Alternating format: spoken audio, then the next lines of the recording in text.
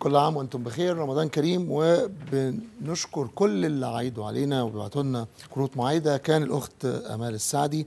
وتوسل من السعودية بعتت لنا قالت إنها حاطه بعض الوصفات واقتراحات لموائد رمضانية وبتسأل هل هيكون في مائدة سودانية؟ أكيد هيكون في مائدة سودانية وإن شاء الله هي بعت لنا الحلو مر الجونجليز ده هيكون وصفة هنعملها يوم الخميس وكل يوم في مائدة مختلفة النهارده هتكون مائدة آه، مصرية وكمان هنعمل آه، بنقول للأخت ام ايمن من ألمانيا إحنا عملنا حطينا حلقة الأمراض النادرة على الفي أو دي وبوكيه ورد ده اسمها على الفيسبوك معرفش ده اسم الحركة ولا اسمها كده. بتسال على الكنافة البلورية إن شاء الله ده النهارده.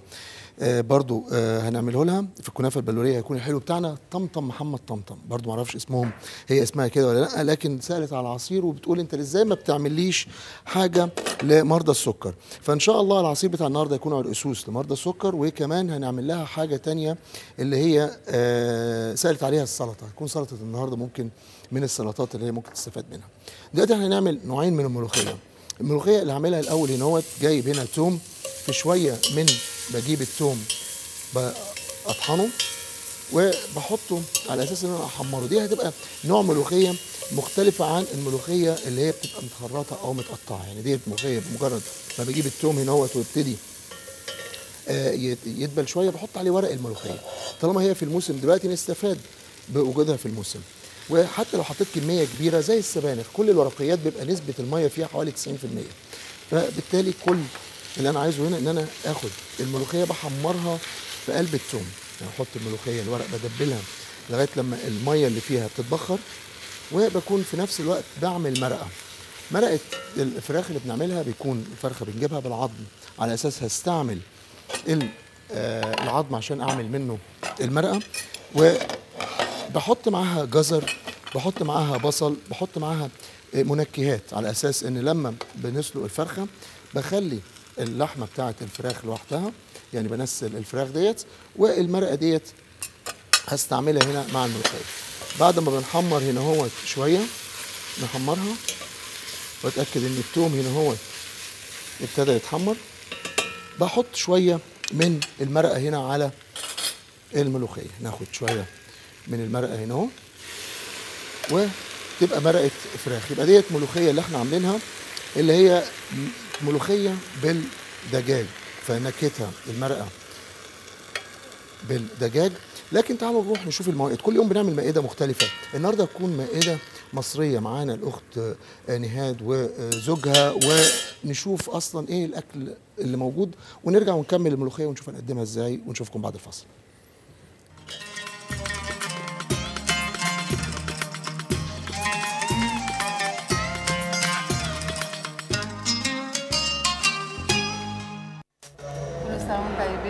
عاملة ملوخية كل بس سنة مخ- ملوخية؟ لا السنة دي ملوخية مختلفة بالأرانب. مختلفة عن عن كل سنة. آه ف يعني المعروف عندكم كثير ملوخية بدجاج آه، أو بالدجاج أو بالبط. أو الجمبري. آه أو السنة دي عاملاها بال... بالأرانب. بالأرانب.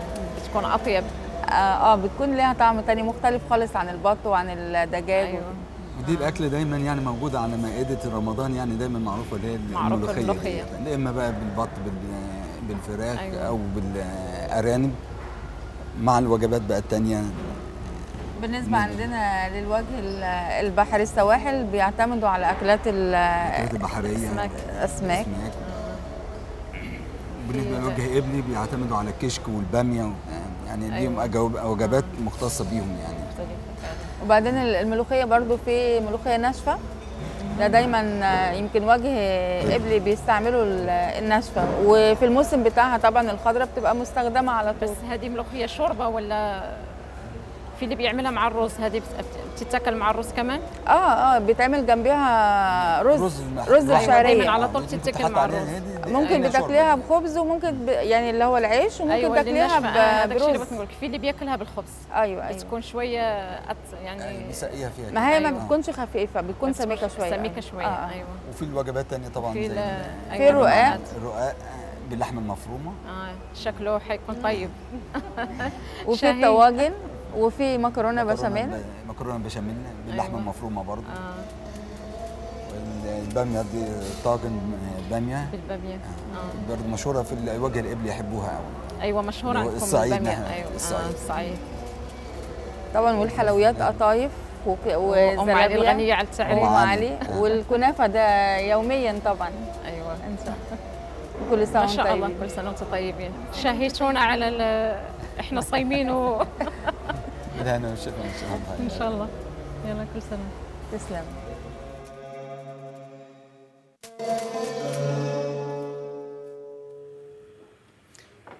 يعني موجودة الملوخية في الموسم دلوقتي وموجودة في السوق فإذا ممكن نعملها شفنا بنعملها ورق بحط عليها شوية من المرقة وممكن بزود المرقة. بس بسيبها تستوي لغاية لما دي تدبل شوية.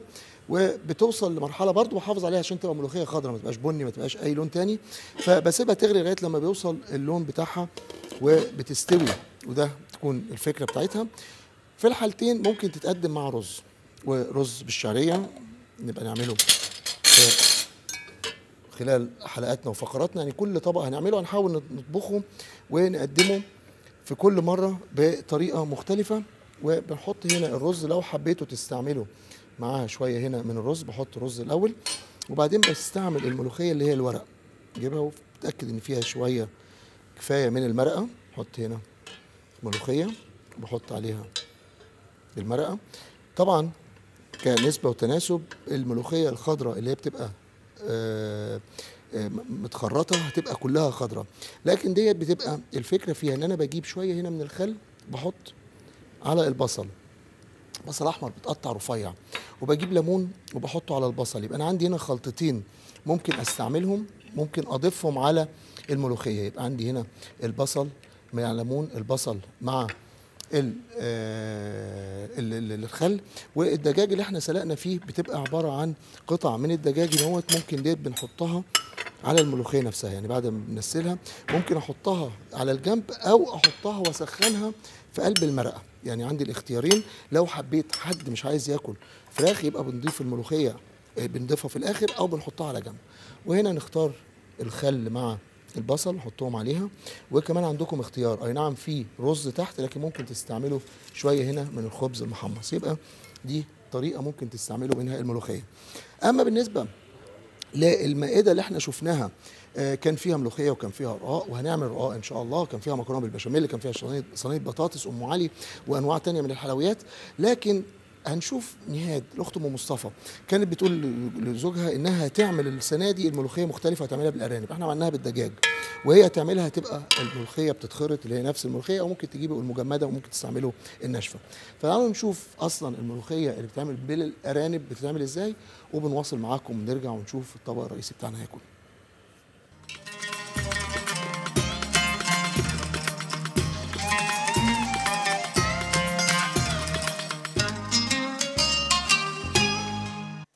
السلام عليكم. آه النهارده بنقدم حلقة من برنامج شيف أسامة وإحنا في شهر رمضان وكل سنة وأنتم طيبين بمناسبة شهر رمضان إن شاء الله يكون شهر خير على الأمة العربية كلها والأجنبية يا رب. النهارده بنعمل طبق من البلد المصرية آه ملوخية بالأرانب. فهي ليها طريقتين. ممكن إن أنا بخلي الأرانب لحالها لوحدها وممكن بخليها في يعني في جوه الملوخية. فأول حاجة بنبدأ إن أنا بحط مية في في الحلة بسخنها. بحط جزر بحط بصل بحط فلفل أسود حب بحط مستكة وبحط ملح.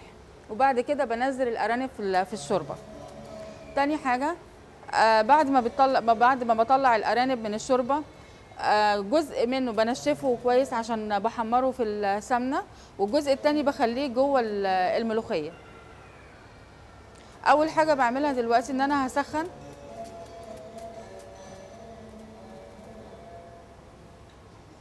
بسخن هنا وبعد كده بعمل التقليب. بحمر ال بعد ما طلعت الأرانب بحمر ال- الطاسة فيها سمنة.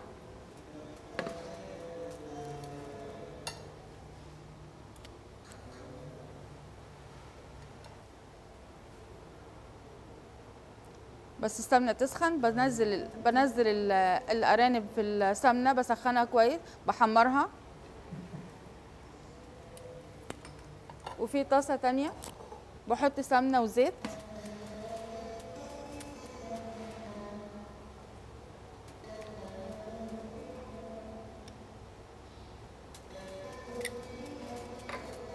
الطاسة اللي بعمل فيها التقلية بحط التوم بنزل التوم الأول.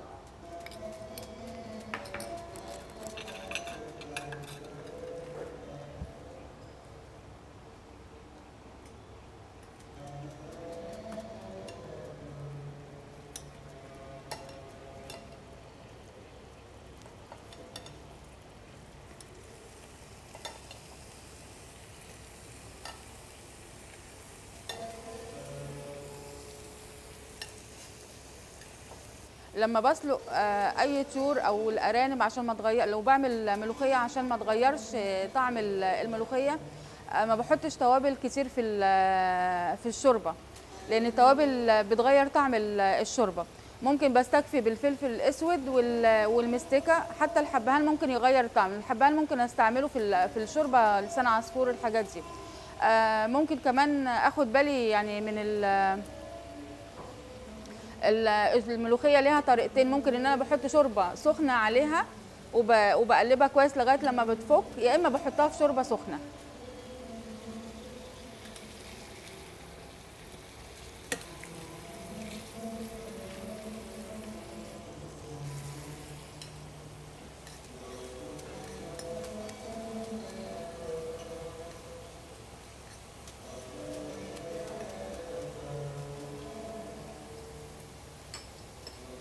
إحنا هنا عندنا الملوخية فيها فيها الأرانب جزء طلعناه بحمره وجزء جوه فأنا هحمر التقلية وبحطها عليه.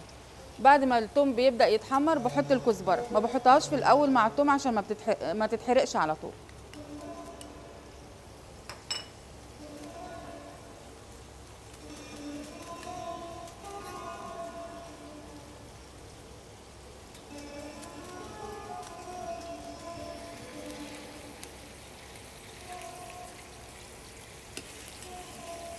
أنا كده بقلب على ال- الجهتين.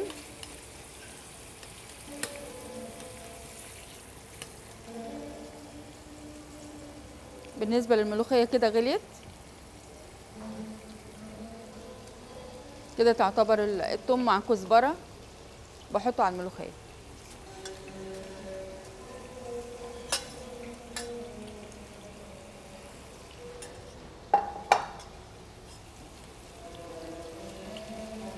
كده الملوخية جاهزة.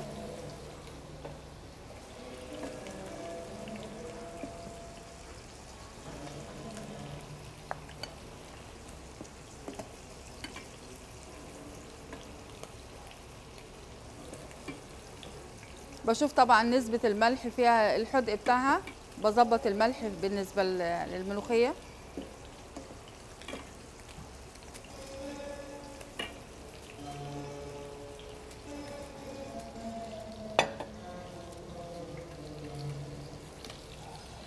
ده بالنسبة لطبق الملوخية ودخله ال- الأرانب. الجزء التاني من الأرانب أنا بحمرها.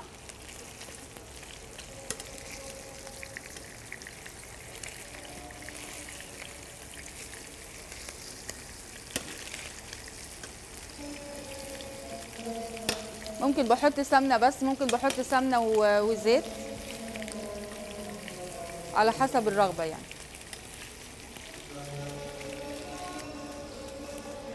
بطلع الأرانب محمرة هنا أهو.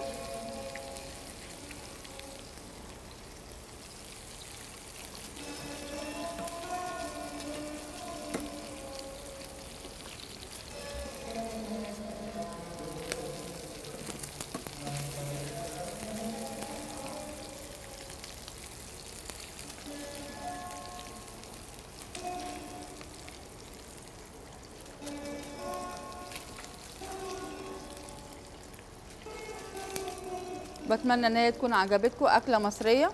بتمنى إن هي تكون عجبتكم في شهر رمضان إن شاء الله. بتمنى إن أنتوا تجربوها.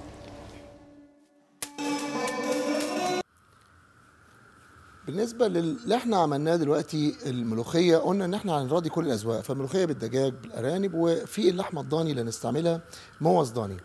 وبالنسبة للموز أنا هتبلها الأول وممكن نحط عليها شوية هنا من البهارات. عندي كزبرة كمون آه، قرفة فلفل أسود شطة بسيطة وينسون وورق غار. دول كلهم بحطهم مع بعض بحيث إن أنا أطحنهم وهسويها ممكن تستوي برضو فكرة التوفيق والتباديل أسويها بأكتر من طريقة. فهنحطها هنا ونسويها في نفس الطاجن اللي ممكن أحط معاه خضار. يبقى إحنا عندنا عملنا حاجتين مع بعض. بجيب هنا قطع اللحمة اللي هي الموز. لو مخلية وما فيهاش آه كتير من نحط هنا شوية من البهارات اتاكد إن كل البهارات غطيتها هنا. لو ما فيهاش دهن كتير بستعمل زيت. فيها دهن ممكن أحطها هي مباشرة. اتاكد إن إحنا نحطها هنا كلها. وبعدين بنسويها وهستعمل كمان أعشاب. يبقى عندي بهارات وعندي أعشاب. البهارات هنا هوت مع نحط شوية هنا من الزيت. ونحمر قطع الموز نحط الموز هنا في الطاجن مباشرة. نحط هنا اهو. وجميله عاجبها الجدر اللي أنا بسوي فيه. دوت عبارة عن فخار بس فخار يتحط على النار. فتأكدوا إن اللي أنتوا بتستعملوه ينفع يتحط على النار عشان ما تقولوش الشيف استعمله كده. هنستعمل عجينة معاها. هتبقى عبارة عن عجينة اللي هي الباف بيستري. عجينة جاهزة إحنا بنجيبها. والفرق بين العجائن إحنا كل يوم بنقول بنعمل عجينة مختلفة. فكرة العجائن كل يوم إن أنا بعمل عجينة تتناسب مع اللي أنا هسويها. يعني دلوقتي العجينة ديت جاهزة ممكن أعمل بيها الفطاير اللي إحنا قلنا عليها أول يوم والفطاير اللي عملناها تاني يوم. والحاجة التانية الأهم من كده اللي هي إن أنا آه مش هستعمل دي. يعني أنا ما استعملتش دي أول يوم ليه؟ العجينة نفسها اللي أنا عملتها كانت خدت وقت كتير في النار. فأنا بحمر ديت بحمر ال ال ال ال الريش أو ال- اللحمة. بحمرها هنا أهو. وبتبل. بعد ما بحمر فيها شوية هنا من الفلفل. فكانت بعد كده بستعمل شوية من الأعشاب. يعني عندي اللحمة وعندي أعشاب. بعد ما بحمرهم برفعهم هنا. واتاكد إن هم بيتحمروا من كل ناحية. نرفع ديت. ونبتدي نحط الخضار. الخضار اللي هتبله هتبله بالأعشاب. يبقى أنا عندي هنا شوية من البهارات معمولة هنا للحمة والخضار بحط معاه أعشاب. أحط شوية هنا من البطاطا لفت شوية هنا من القرع بحطهم هنا. وإحنا كل يوم كانت آه، آه، جالنا السؤال على مرضى السكر. وإيه العصائر اللي ياخدوها؟ قلنا الخروب من العصائر اللي هي كويسة لمرضى السكر وكمان العرقسوس وعندنا ركن اللي هو ركن العصاير اللي بنعمله كل يوم. بنروح في خان مرجان نحط شوية هنا من الأعشاب هنا أهو. نحطهم هنا أهو. نحط شوية زيت. هحمر دول وعبال ما يتحمروا نشوف ركن العصاير هنعمل الاسوس إزاي ونرجع ونكمل معاكم ونشوف بقية اللحمة إن شاء الله.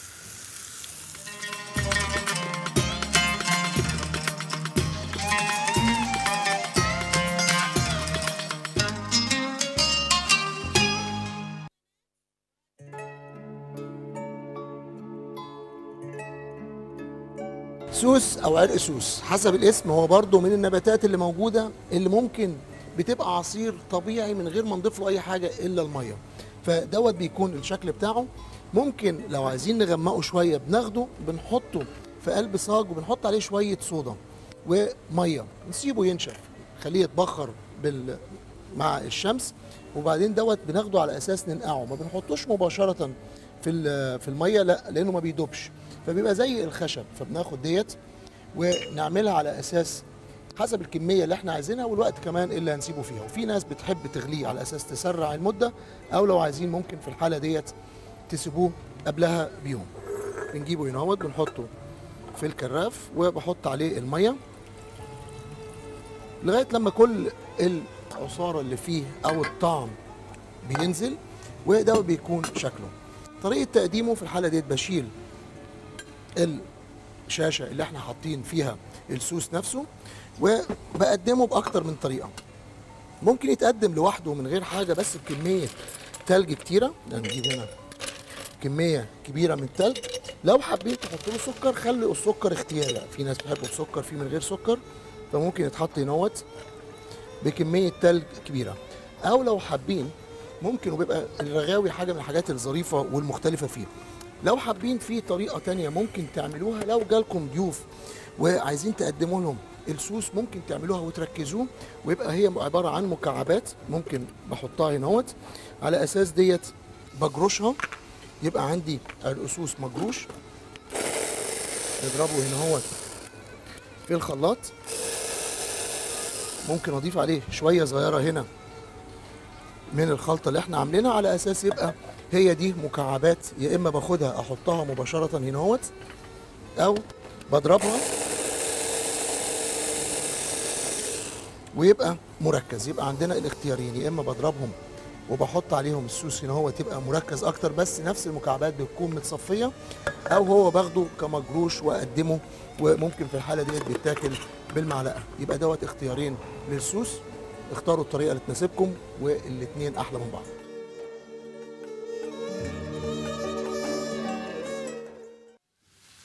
شفت السوق دوت بتاعنا هنا؟ لو تلاحظوا هتلاقوا كل حاجة موجودة فيه. بنمسك cue cards. كان دوت من أول ما ابتدينا في مع اسامه extra مع اسامه أطيب صباحك أطيب مع اسامه وكل مرة بنغير الديكور بنغير الألوان بنخليها وعملنا منها آه label لمعظم المنتجات بتاعتنا.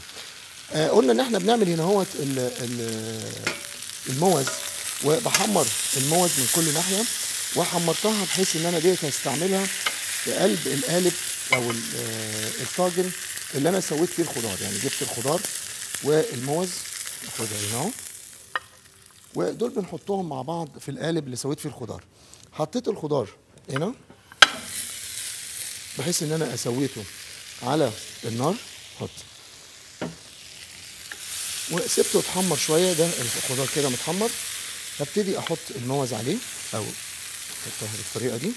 والخضار كان فيه أعشاب والموز حطينا معاها بهارات. نحطها كده أهو. وحطيت العجينة. لو تفتكروا عجينة ال puff pastry قلنا إيه الفرق؟ ليه استعملنا ال puff pastry النهارده؟ حاجة سهلة سريعة ممكن تشتروها. ولو جبتوها حطها هنا أهو. نطفي عليها خلاص. دي بكمل تسويتها في النار. بس الأول بعمل العجينة. اللي أنا بسويها عليها. وإذا كان في أي دقيق زيادة بتخلص من الدقيق الزيادة اللي فيها. يبقى دوت ناخدها هنا. وبعدين بحطها هنا اهوت بسحبها وأنزلها بحيث إن أنا أغطيها. نغطي العجينة نغطيها بالعجينة. وممكن ديت تحط عليها شوية من حبة البركة. وعشان تلزق فيها أدهنها بشوية من الحليب مع البيض. يبقى ندهن الباب. بسري ديت الظريف فيها إن أنا لو عندي ضيوف أنا بعزم ضيوف وبيجوا متأخر لما هحط دي في الفرن وهتستوي أتأكد إن هم لما يجوا الأكل يفضل سخن وده هيبقى الغطا. وفي نفس الوقت هي تعتبر ممكن من النشويات. نحط دي كده أهو وهحطها شوية حبة البركة عليها. ناخدها نوديها الفرن. ناخد ديت بعد ما طفينا عليها. بحطها في الفرن. يعني الخضار اللي استوى من جوه وبكمل تسويتها هنا في الفرن. نفتح. ونسيبها تكمل تسويتها. وعندي أنا واحدة تانية سويناها. بتاخد في الفرن ممكن 45 دقيقة حسب حجم أنا سبتها قد إيه على النار. فنروح هنا أهوت. الفرن نطلع اللي إحنا سويناها. نحطها هنا.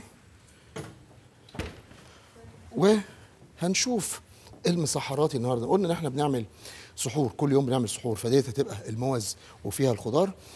هنروح نعمل فول النهارده وكل الناس عارفة الفول بيتعمل إزاي. فلو عندكم فول ممكن تقدموه بطرق مختلفة إزاي. نرجع بعد الفاصل ونكمل معاكم وهنعمل سلطة جنب الموز. نشوفكم على خير. اصحى يا نايم وحد الدايم. فقرتنا والمسحرات بيجوا بس يفكركم بأنكم تسحروا حاجات سهلة بسيطة سريعة وجايز أنتوا بتعملوها. مين ما بياكلش فول في السحور لكن ممكن نعمله ببعض الأفكار المختلفة. بنحط هنا نزود شوية من السلطة إذا كانت هتبقى بصل وفلفل وطماطم أو لو حبينا نحط عليه حمص يبقى عندنا البروتين النباتي زايد شوية وعليه شوية صغيرين من الطحينية. ولو حبينا يكون البروتين الحيواني مع الفول يبقى دي حاجة تانية ممكن نستعمل فيها بيض نحط بيض نهرسه ومعاهم شوية صغيرين من الكزبرة على أساس يبقى الطعم مختلف وزيت زيتون. أو الفول مع الفلافل لو إحنا عندنا الفلافل ممكن يبقوا الاثنين مع بعض وشوية صغيرين هنا هوت من الكمون. يبقى دلوقتي الفول حاجة مهمة للسحور ما ننساهاش ويا ريت كل شوية نغير ونجرب نوع جديد وإن شاء الله صوم مقبول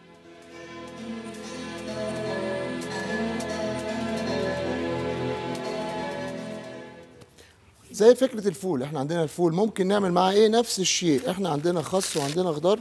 ممكن هنا هعمل طبق من السلطة الفكرة فيها إن أنا بستعمل حاجات من اللي موجودة عندي في البيت. يعني عندي هنا شوية من الزيتون الذرة ممكن أعملهم سلطة ممكن أعملهم شوربة. وأنا بعمل السلطة ديت هناخد اتصال وكلها حاجات هخلي كل حاجة لوحدها عشان لو لخبطناهم ممكن حد يكون ما بيحبش حاجة يقوم يرفض الباقي فنخلي لكل واحد حاجته على جنب. ألو؟ ألو شيخ أسامة؟ السلام عليكم ازي حضرتك يا أخت ام عبد الله؟ كل عام وأنتم بخير. رمضان كريم. الله يخليك تسلم إيدك تسلم إيدك. على تسلمي الحاجات اللي بتسويها. ده من ذوق حضرتك. إيه رأيك؟ لا آه، شيخ أسامة أنا ولدي الكبير ما يأكلش إلا الفول. انت عارفه هنعمل من. هنعمل من البحرين آه، أكلات. مش هقول لك دلوقتي يعني هخليها مفاجأة. لكن عاملين من البحرين عاملين من كل بلد آه، عربي آه، هيبقى في حاجة. فهنعمل لكم صافي من البحرين. طبعا ما لقيناش الصافي الصغير اللي بتلاقوه عندكم لكن عملنا حاجة شبيهة بيه إن شاء الله هتعجبك بإذن الله. كل شيء اللي سويناه حلو. ده. من ذوقك من ذوقك آه،. بس ديكوركم بعد حلو وايد وايد وايد. كل شيء. طب الحمد لله إنه عجب حضرتك الحمد لله. خمس أيام وأنا أرى وين ابي ازيد مكالمه يحطوني على الخط ويسيبونه ما علشان عايزينك تتفرجي إيه رأيك في الموز اللي إحنا عملناها؟ عايزينك تش... أتأكد إن أنت بتشوفي الموز. اتفرج. كل وسلم عليك وبارك لك في الشهر. الله يبارك في كل حضرتك. الاحبه اللي عندكم. الله يبارك في حضرتك. اللي معاك يشتغلون كلهم. أولادك وكل كلهم إن شاء الله يعيد عليكم بالخير. آمين. آمين. وصديقات البرنامج الدكتورة امل وام اوراس وسهام وأم عبد الله من السعودية وكله وأم حيدر كله. وكلهم بيبلغوا سلام لحضرتك ويقولوا لك رمضان كريم وإن شاء الله نكون عند حسن ظنكم. إحنا جبنا من وراك نتقابل. إن شاء الله إن شاء الله. إيه، قاعدين نسوي تليفونات حق بعض. خلاص نشوفك على خير وهناخد أنا قلت لهم الجمعية دي أنا عاوزاها الأول. خلاص وهنخل هنقبضك الأول. نقبضها الأول تحت أمرك. يبقى جمعية أسامة مش أنا اللي هدفع لكن هم اللي هيدفعوا.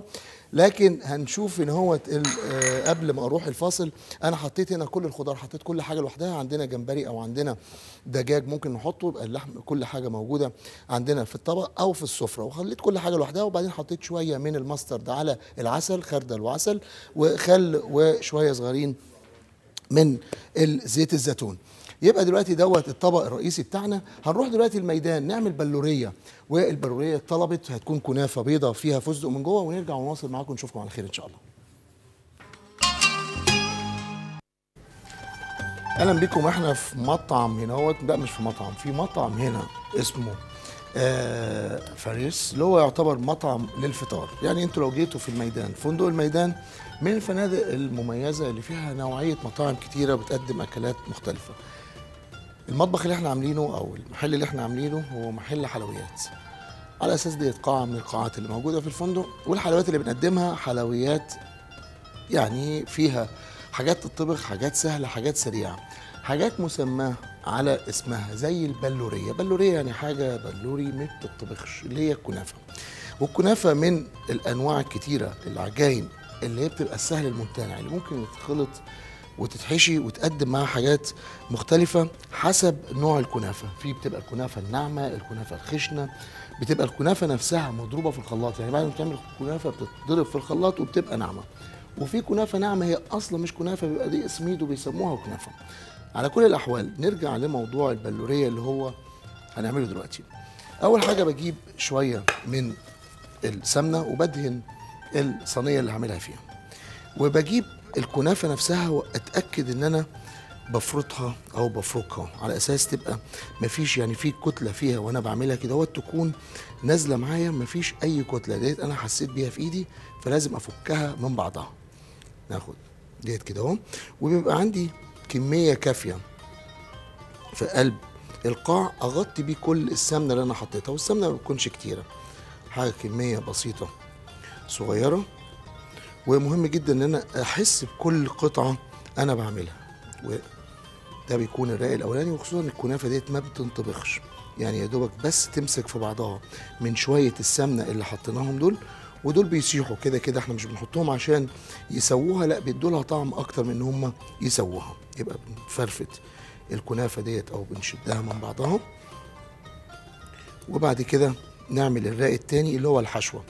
عادة البلورية بتبقى محشية نوع واحد من المكسرات اللي هو بيبقى الفستق والفستق الحلبي بيبقى طبعا مش مملح زي أي نوع من أنواع الحلويات. عشان كده بنقول تملي. لما تشتروا أي نوع من المكسرات ما تشتروهاش بملح. أنتوا عايزين تبقى تملحوها شفتوا في البرنامج إن إحنا إزاي ممكن نملح المكسرات. والحلويات طبعا بنضيف عليها نوع من أنواع. المسكرات زي القطر زي السكر. بشوف هنا الحجم اللي أنا عايزه قد إيه يعني ديت كده كافية لكن مش هضغط بإيدي. لو ضغطت بإيدي مش هتديني إنها تبقى متساوية. بس بتأكد إن كل واحدة على الأقل فيها كافية إنها تبقى متساوية. وعشان أسهل على نفسي بجيب بلاستيك نحطه عليها كده أهو. وبعدين بجيب صينية تانية. بنفس الحجم وبضغط عليها. فبضغط عليها ويبقى هو دوت الشكل بتاعها. يعني تبقى الصينية مضغوطة بالطريقة ديت. كل الكنافة اللي إحنا حطيناها بقت شبه عجينة مرة كمان. يعني حطيتها وضغطت عليها وده بيبقى يكون الشكل بتاعها. أما الحشو اللي هنحطه فيها بيكون عبارة عن شوية من الفستق زي ما إحنا شايفينه مجروش. بديله بنكهه بكذا حاجة. ممكن يكون القطر اللي أنا عامله فيه شوية صغيرين من الليمون وورق الغار بس ده مش بيبقى طعم قوي لكن بنحط شوية من السكر بستعمل سكر بودرة. أساس نخلطه هنا هوت مع بعضه. ومع السكر البودرة دوت بحط شوية يعني نحط هنا شوية من المظاهر. وما بكتفيش بالسكر البودرة بس لا بنحط معاه كمان شوية صغيرين من الزبدة. زي ما قلت ديت هتبقى للطعم وخصوصا إن أنا مش هسيحها وبحط قطر نحط هنا قطر على أساس يمسك العجينة ديت مع بعضها أو يعمل لي عجينة للوز. يبقى نخلط. كل ده هنا أهو. يبتدئ لونها يبان مرة كمان من السائل اللي أنا حطيته. أقلبهم. كده. وبعدين بجيب الكنافة مرة كمان. نحط اللوز وأفرد اللوز عليها بحيث إنها كلها يبقى فيها كمية من المكسرات. لما أقطعها تبقى موجودة بالتساوي. نحط كمية اللوز هنا أهو. لو احتاجنا شوية كمان عندنا شوية لوز بنحطهم. وبعد كده بيفكروني ويقولوا دوت فستق حلبي مش لوز. وانتوا أكيد طبعا حتى لو أنا اتلخبطت هتبقوا عارفين أنتوا حاطين إيه. وما بتتعملش باللوز هو الفستق بس والفستق الحلبي بالذات. نيجي بقى نعمل الموضوع مرة كمان إحنا شفنا أول طبقة عملناها. نفس الفكرة بتبقى مرة كمان إن أنا بجيب نفس الكنافة وأبتدي أعمل الراق التاني اللي فوق. نفططها بالطريقة ديت. وزي ما قلت إنها أي قطعة موجودة أو أي حاجة موجودة بتأكد إنها بتفك من بعضها هنا أهو على أساس إنها ديت تبقى محطوطة. كراق ما ي- ما يبانش فيه الفستق زي ما حطينا أول راق والسمنة ما بانتش فيه. يبقى كلها زي ما إحنا شايفين هي كلها معمولة قدامكم لغاية دلوقتي ما حطيناهاش. لا على النار ومش هندخلها الفرن. شوية صغيرين من الكنافة بنفس الحجم اللي إحنا حطيناه تحت هنحطها فوق. يبقى كمية الكنافة اللي بتتحط بتكون كنافة ناعمة. عشان لما تتاكل ما تبقاش عجينة وخصوصا إن دوت مش هيتطبخ. نفتت دوت من بعضه. نتاكد ان كله متغطي. نحط شوية على الجناب نتحط ده كله هنا. عندي شوية كمان نقطعها حتت صغيرة. ونفكركم ديت اللي هي الكنافة البلورية. نحط هنا اهو شوية صغيرين كمان الناحية دي. أنا طبعا شايف بعناية إيه اللي هو المساحة ولا الحجم. يعني في واحدة الأخضر باين فيها شوية في الأبيض أقل أو أكتر فبالتالي بوزعها علشان في الآخر تبقى بنفس الحجم. يبقى ده كده الرقين اللي إحنا عملناهم وبكرر نفس الحكاية مرة كمان. بجيب ورقة بلاستيك على أساس ديت بتسهل عليا بعد ما بفردها كده أهو. بحط الورقة هنا أهو واضغط عليها. نشيل بقى أول رق إحنا عملناه اللي إحنا أصلا وريناه لكم في الأول وبضغط مرة كمان. نضغط عليها كده. لو عندكم حد صاحبكم يقدر يضغط أفضل من كده ممكن تبقى أحسن. و بعدين بناخد ديت بتكون كلها لازقة في بعضها بس اتأكد إن كمان هنا أهوت اتضغطت من الجناب نضغط في النص كمان. نضغط في النص لأن ديت لما أجي أقلبها مش مش عايزة تفلت أو تفك من بعضها. بعدين هناخدها ونحطها على النار. نوسع نفسينا مكان هنا. وبعدين بحطها على النار. عايزها تفضل بلورية يعني عايز اللون يفضل زي ما هو فكل اللي بعمله بس بسيح الزبدة. نعلي النار أو السمنة اللي أنا حطيتها وبنحطها مع الاستمرار هنا في التحريك. وعندنا القطر بيكون غليظ شوية أو سميك عايز يكون نوع من الصمغ اللي هو يمسك ده في بعضه. فحاطط هنا هوت كوبايتين من السكر ممكن كوباية من المية شوية حمض ليمون أو شوية صغيرين من لو حبيتوا تستعملوا ال- الليمون. عصير الليمون فدوت ممكن يقضي الغرض. عبال ما تسيح هنا نعمل مكان للكنافة. وبتأكد زي ما قلت إن أنا ما بحمرهاش. يعني النار بس بفضل أخليها تتحرك كده لغاية لما يبتدي تسيح الزبدة اللي تحت. يعني بنسيح الزبدة اللي تحت ودي تمسك في بعضها. يعني دي الخطوة ديت مهمة جدا. نحطها. هنا اهو. وبنضغط عليها. وأثناء ما بتتحمر نروح للخطوة اللي بعدها. هيبقى عندي صينية تانية على أساس إن هحط ديت نفس الموضوع اللي إحنا عملناه من تحت. عايز أحمر من فوق وطالما مش هدخلها الفرن يبقى لازم أقلبها وأحطها على النار بنفس الطريقة. هنجيب شوية هنا من السمنة. وبندهن الصينية بشوية سمنة صغيرين و نرجع تاني هنا للكنافة. وعلشان أعرف إن ديت استوت أو من تحت هو المفروض تبقى سخنة ولا لا؟ أنا مش عايزها تبقى سخنة كتير زي ما بنقول في القطر. القطر لما باجي أعمله وبعدين بعمل اللي هو ال- المارينج أو ال royal آه icing بنحط القطر اللي هو بيبقى عبارة عن ال ال السكر مع المية بسيبها تغلي وبتوصل درجة حرارة عالية. وبعدين بضيف عليها بياض البيض. لو حطيت إيدي على العجانه لمدة دقيقة وأقدر أمسكها يبقى هي دي درجة الحرارة اللي أقدر أضيف بيها الزبدة. هنا بالنسبة لديت بحط صباعي هنا لو لقيتها سخنة يبقى جاهزة. دوت مش سخنه يبقى لسه الكنافة من جوه لسه ما سخنتش. فنعلي عليها هنا نرفع الحرارة شوية. ونتأكد إن أنا ممكن عندي الغاز التاني هنا برضو للمساعدة واختصارا للوقت.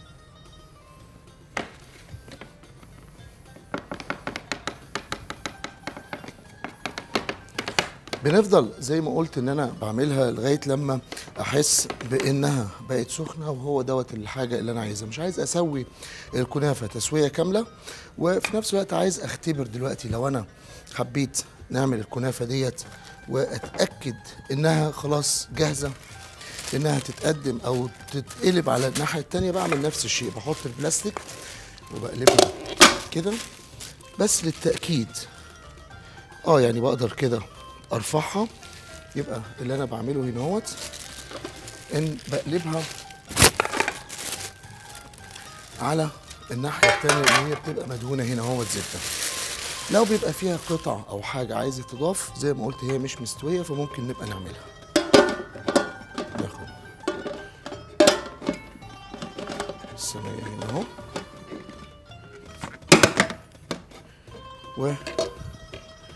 بنحطها نحطها هنا أهو.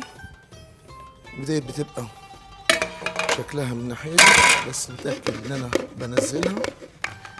لو عندي قطع ولا حاجة بحطها هنا واضغط عليها على أساس إن ديت بتفضل إنها تست يعني تتسوى على نار. إحنا عندنا هنا أهوت اللي إحنا اللي إحنا بنعمله هنا أهوت إن ال- النار اللي عندنا بالكهرباء. لكن دي لو معمولة على نار بتبقى أفضل وبكرر نفس الحكاية هنا اهوت مرة كمان بنفس الطريقة وبعدين بنحط القطر عليها. يعني بتجيب هنا اهوت بعد ما بحمر ديت يعني نسيبها دقيقتين ثلاثة لغاية لما كلها تتماسك وبعدين بحطها كده تفك من بعضها. بعد كده بحط عليها القطر نسقيها بالقطر. يبقى ديت بتبقى فكرة البلورية. أهم حاجة إن أنا بضغط عليها على أساس تتماسك. والقطر بيتعمل على مرتين؟ يعني ما بحطش كل القطر مرة واحدة بحط نص القطر الناحية دي وبكرر نفس الحكاية. باخدها نقلبها مرة كمان بس أكيد مش هعملها خلاص أنتوا وصلت لكم الرسالة. وبعد كده بنجيب الكنافة اللي هي بعد ما بنضغط عليها بتبقى دوت الشكل بتاعها على أساس ديت اللي بتتقطع. وزي ما قلت إنها حسب الضغط عليها والقطر كمية القطر اللي فيها مع الوقت اللي هتقضوه. يعني إحنا في حوالي تسع دقايق أو عشر دقايق ممكن وصلنا للنتيجة ديت. مع وقت أطول شوية وحد أتقل شوية ممكن يوصل لنتيجة أفضل شوية. نقطع دول هنا أهو. نقطعها مربعات. أو لو حبيتوا ممكن تقطعوها سامبوكسات نقطع بس واحدة أو اتنين. نتأكد إنها نقطعها من هنا. ونقطع واحدة أو اتنين بس نشوف النتيجة بتاعت الكنافة شكلها إيه. ديت كده هوت صمغ القطر لزقها والسمنة هي الطعم والمذاق الأساسي فيها. نجيب قطعتين هنا أهو. ونبتدي نقطعها. وممكن تتقدم معاها فستق نرفعها من هنا نرفعها من هنا. وديت هنا البلورية اللي إحنا عملناها سوا. كمية الفستق فيها اللي هو قلت عليه لوز لكن كان فستق حلبي. سهلة زي ما أمين بيقول وقال لنا حتى شافها بيقول أي حد يقدر يعمل الكنافة ديت. فأتمنى أنتوا كمان تجربوها وإن شاء الله تنال رضا